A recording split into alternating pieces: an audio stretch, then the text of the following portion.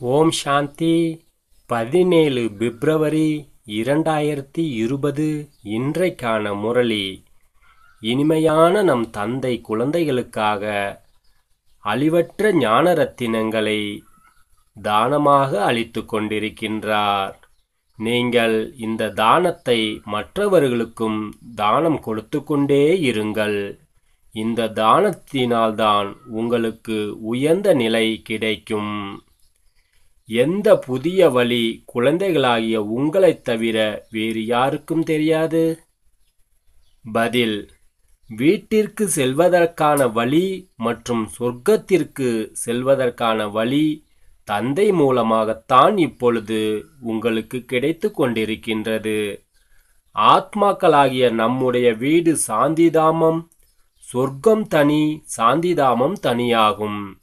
இந்த புதிய வழி உங்களைத் தவிர வேறு யாருக்கும் தெரிவதில்லை. இப்ப கும்பகர்ணனின் தூக்கத்தை விட்டு கண்களை திறந்து பாருங்கள். தூய்மையாகுங்கள் என நீங்கள் கூறுகிறீர்கள். தூய்மையாகினால்தான் நாம் வீட்டிற்கு போக முடியும் என்று சொல்கிறீர்கள்.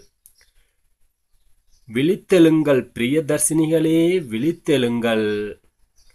பகவான் வாக்கு மனிதர்களையோ அல்லது தேவதைகளையோ பகவான் என்று கூற முடியாது. ஏனென்றால் அவர்களுக்கென்று சாக்கார வடிவம் இருக்கிறது. இதை பாபா புரிய வைத்திருக்கின்றார். மற்றபடி பர்மபிதா பரமாத்மாவிற்கு சாக்கார வடிவமும் இல்லை சூட்சம ரூபமும் இல்லை. எனவேதான் அவருக்கு சிவபரமாத்மாய நமக என்று கூறப்படுகிறது. ஞானக்கடல் அவர் ஒருவரே. வேறு எந்த மனிதருக்குள்ளும் இந்த ஞானம் இருப்பதில்லை. எதை பற்றிய ஞானம்? படைப்பவர் மற்றும் படைப்பினுடைய முதல் இடை கடை ஞானம். ஆத்மா மற்றும் பரமாத்மாவின் ஞானம் யாருக்குள்ளும் இல்லை. மணப்பெண்களே பக்தைகளே விழுத்தெழுங்கள் என தந்தை வந்து எழுப்புகின்றார். அனைவரும் ஆண் பெண் பக்தர்கள் பகவானை நினைக்கிறார்கள். அனைத்து மணப்பெண்களுக்கும் ஒரே மணவாளனை நினைக்கிறார்கள். அனைத்து பிரியதர்சிகனாகிய ஆத்மாக்களும் பரமபிதா பரமாத்மாவை பிரியதர்சனை நினைக்கிறது. அனைவரும் சீதைகள் ராமர் ஒரே ஒரு பரமாத்மாதான். ராமர் என்ற வார்த்தை ஏன் கூறப்படுகிறது? ராவண ராஜ்யம் அல்லவா? எனவே அவனுடன் ஒப்பிடும்போது ராமராஜ்யம் என சொல்லப்படுகின்றது. ராமர் தந்தை அவரை ஈஸ்வரன் என்று கூறுகிறோம் பகவான் என்றும் கூறுகிறோம். அவருடைய உண்மையான பெயர் சிவன். இப்போது புதுயுகம் வரப்போகின்றது. விழித்தெழுங்கள் என தந்தை கூறுகின்றார். பலவை பழையவை அழிந்து கொண்டிருக்கின்றது. இந்த மகாபாரத போருக்கு பிறகு சக்தியுகம் சாபனையாகப் போகின்றது.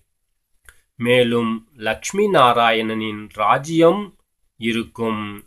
பழைய கலியுகம் முடிந்து கொண்டிருக்கின்றது. ஆகவேதான் குழந்தைகளே கும்பகர்ண தூக்கத்தை விட்டு எழுங்கள். இப்போது கண்களை திறங்கள்.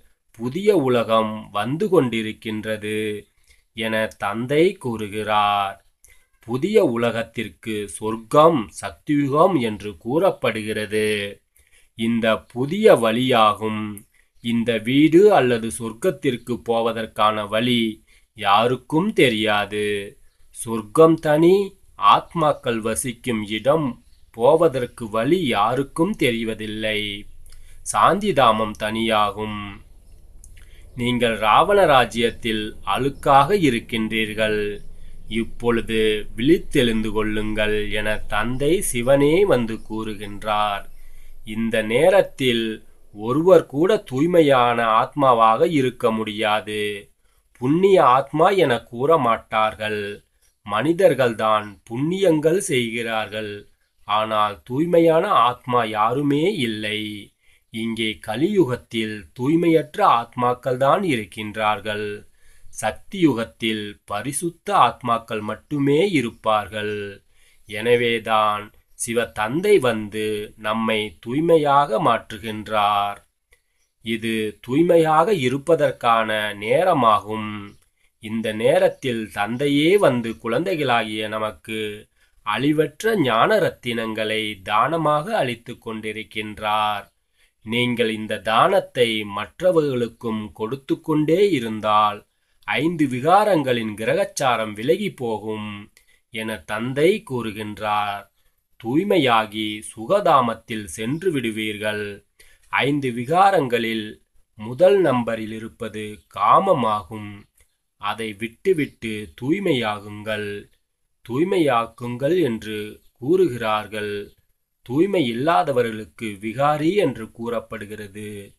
சுகதுக்கத்தின் விளையாட்டு பாரதத்தில்தான் பாபா பாரதத்தில்தான் வந்து சாதாரண உடலில் பிரவேசிக்கின்றார். அவருடைய வாழ்க்கை வரலாறையும் கூறுகின்றார். அவர்கள் அனைவரும் பிராமணன் பிராமணிகளே பிரஜாபிதா பிரம்மாவின் வாரிசுகள். நீங்கள் அனைவரும் தூய்மையாவதற்கான வழியை கற்பித்துக் கொண்டிருக்கின்றார்.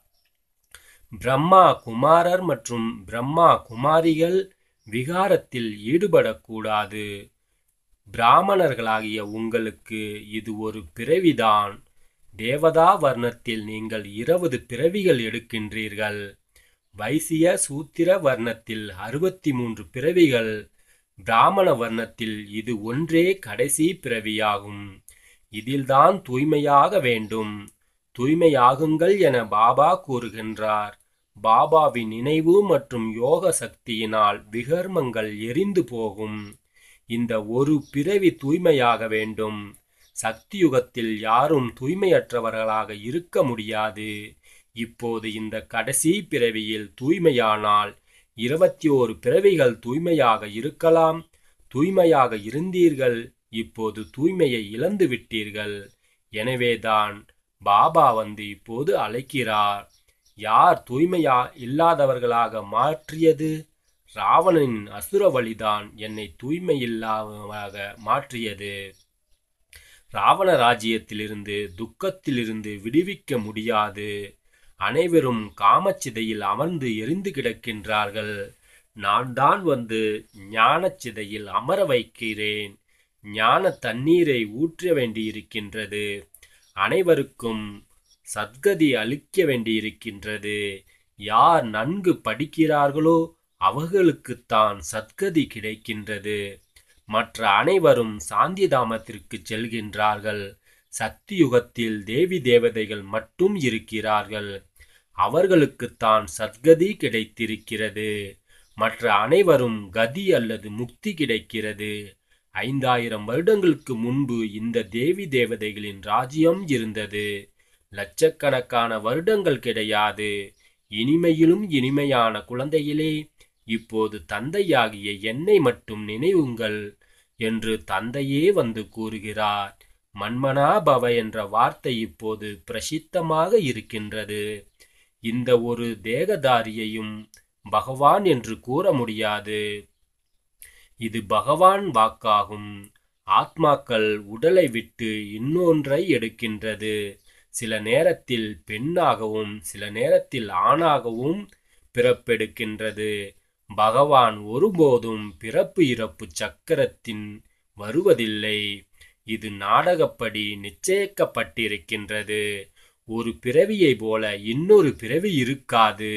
பிறகு உங்களுடைய இந்த பிறவி மீண்டும் கிடைக்கும்போது இதே நடிப்பு இதே தோற்றத்தை மீண்டும் எடுப்பீர்கள். இந்த நாடகம் ஏற்கனவே நிச்சயிக்கப்பட்டதாகும். ஸ்ரீ கிருஷ்ணருக்கு சக்தியுகத்தில் எந்த சரீரம் கிடைத்ததோ அது மீண்டும் அங்கேயே கிடைக்கும். அந்த ஆத்மா இப்போது இங்கே இருக்கின்றது. நாம் அவ்வாறு மாறுவோம். துல்லியமாக இவ்வாறு கிடையாது.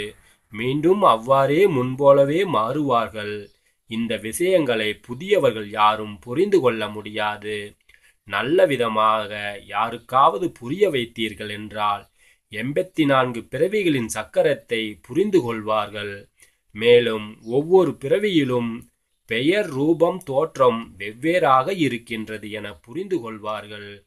இப்போது இது இவருடைய கடைசி எண்பத்தி நாலாவது பிறவியின் தோற்றமாகும். எனவேதான் நாராயணனின் தோற்றத்தை கிட்டத்தட்ட இவர் காண்பிக்கிறார்கள். இல்லையென்றால் மனிதர்கள் புரிந்து கொள்ள முடியாது. மம்மா பாபா தான் இவ்வாறு லக்ஷ்மி நாராயணனாக ஆகிறார்கள் என குழந்தைகளாகிய நீங்கள் அறிவீர்கள். இங்கேயே ஐந்து தத்துவங்களும் தூய்மையாக இல்லை. இந்த சரீரம் அனைத்தும் அசுத்தமாக இருக்கின்றது. சக்தி யுகத்தில் சரீரம் கூட தூய்மையாக இருக்கும்.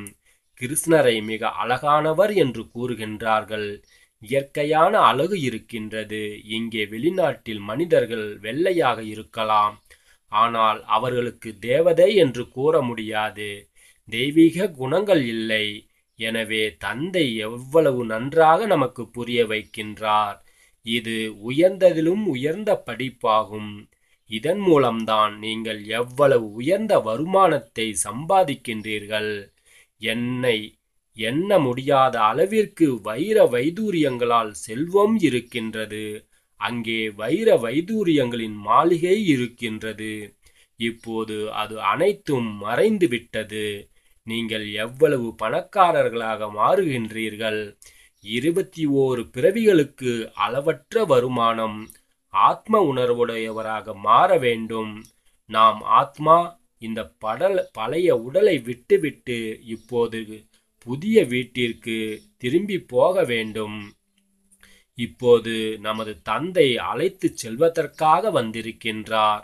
ஆத்மாக்களாகிய நாம் எண்பத்தி நான்கு பிறவிகளில் முடிந்தாயிற்று. இப்போது மீண்டும் தூய்மையாக வேண்டும். பாபாவை நினைக்க வேண்டும். இல்லையென்றால் விசாரணைக்கான நேரமாகும். தண்டனைகள் அடைந்து வீட்டிற்கு திரும்பி போவார்கள். கணக்கு வழக்கை அனைவரும் முடிக்கத்தான் வேண்டும். பக்தி மார்க்கத்தில் காசியில் சென்று கிணற்றில் குதித்து தண்டனையை அனுபவிக்கிறார்கள். இருப்பினும் யாரினும் யாரும் முக்தியை பெறுவதில்லை. அது பக்தி மார்க்கமாகும். இது ஞான மார்க்கமாகும். இதில் தற்கொலை செய்ய வேண்டிய அவசியமில்லை.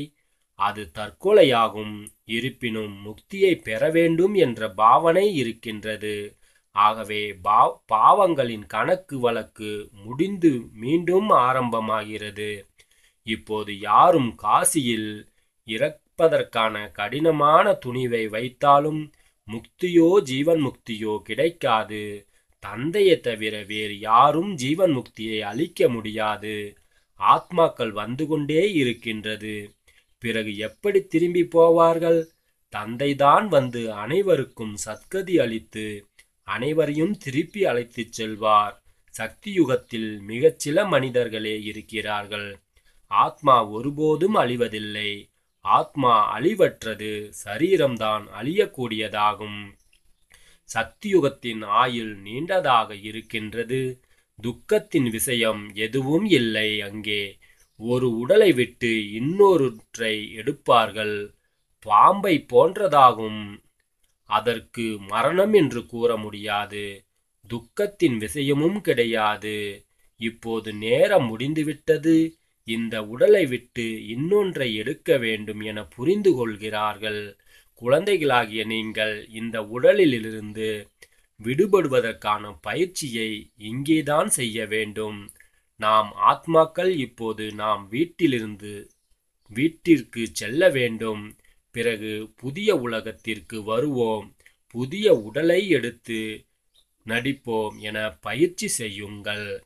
ஆத்மா எண்பத்தி நான்கு உடலை எடுக்கின்றது என நீங்கள் புரிந்து கொண்டிருக்கின்றீர்கள்.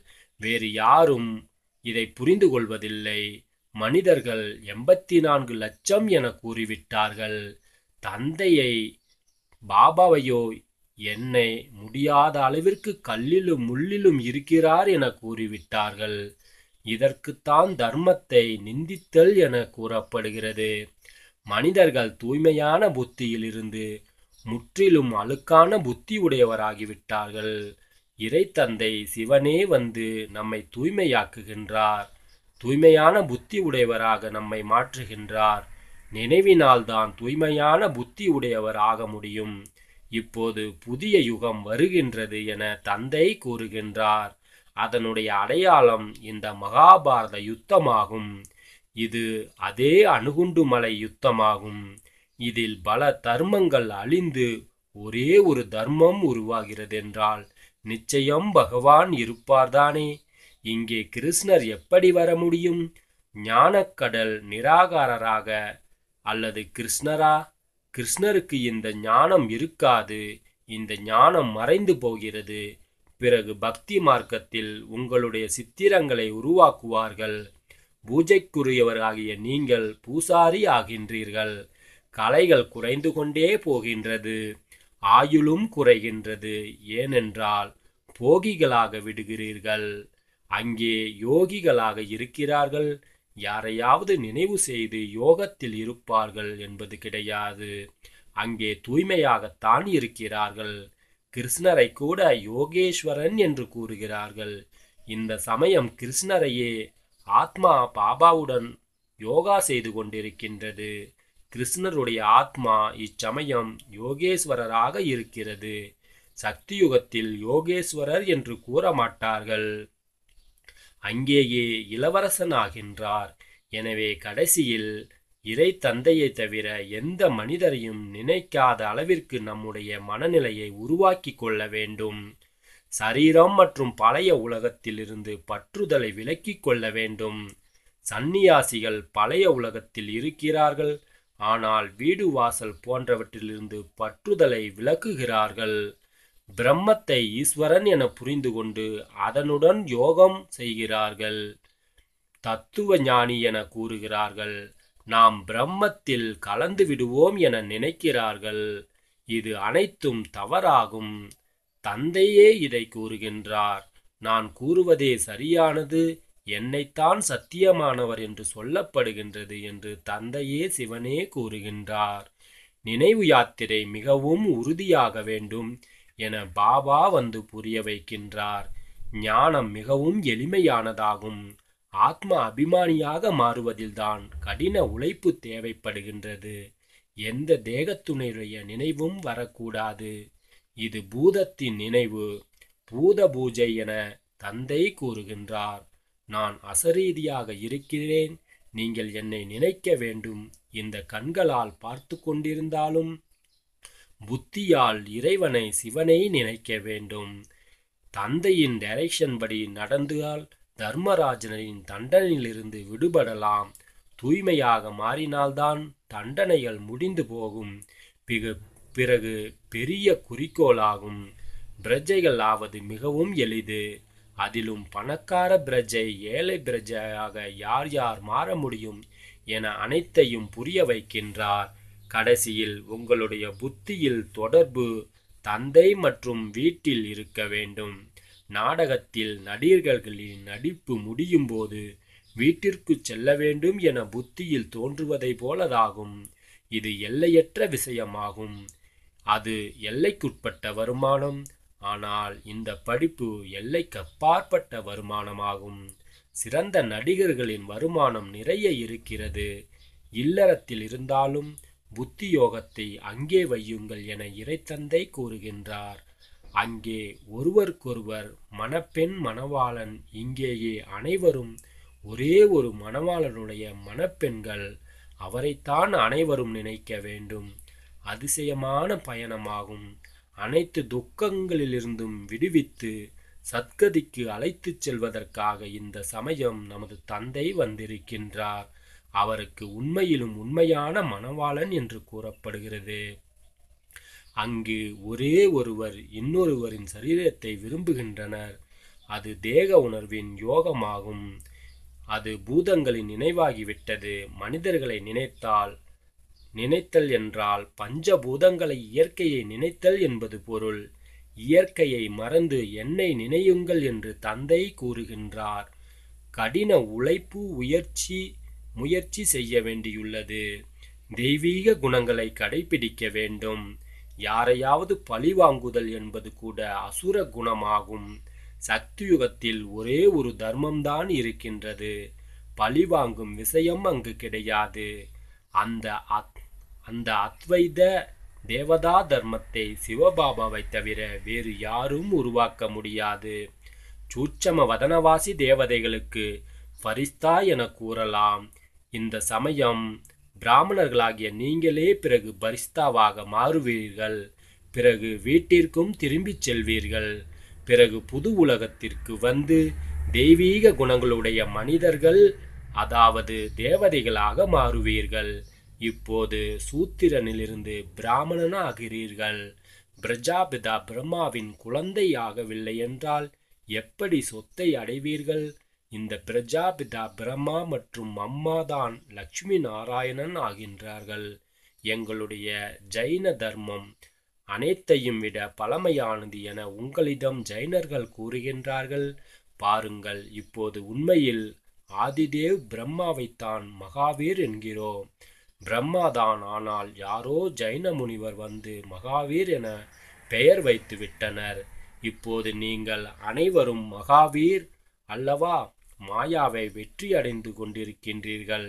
நீங்கள் அனைவரும் சக்திசாலியாகின்றீர்கள் நீங்கள் உண்மையிலும் உண்மையான மகாவீர் மகாவீரர்கள் உங்களின் பெயர் சிவசக்தி சிங்கத்தின் மீது சவாரி செய்கின்றீர்கள். மற்ற மகாரதிகள் யானையின் மீது சவாரி செய்கின்றார்கள். யோக பலத்தினால் நீங்கள் உலகத்தின் மீது ராஜ்யம் செய்கின்றீர்கள். இப்போது நாம் வீட்டிற்கு திரும்பி போக வேண்டும். இந்த பழைய உலகம் என ஆத்மா கூறுகின்றது. இதுவே எல்லையற்ற சந்நியாசமாகும். இல்லறத்தில் இருந்தாலும் தூய்மையாக வேண்டும். மேலும் சக்கரத்தை புரிந்து கொள்வதால் சக்கரவர்த்தி ராஜாவாக ஆகலாம். நல்லது. இனிமையிலும் இனிமையான குழந்தைகளுக்கு தாயும் தந்தையுமான நமது சிவத்தந்தையின் அன்பு நினைவுகள் மற்றும் காலை வணக்கத்தை கூறிக்கொள்கிறார். தந்தைக்கும் நாமும் காலை வணக்கத்தையும் அன்பு நினைவுகளையும் கூறிக்கொள்வோம்.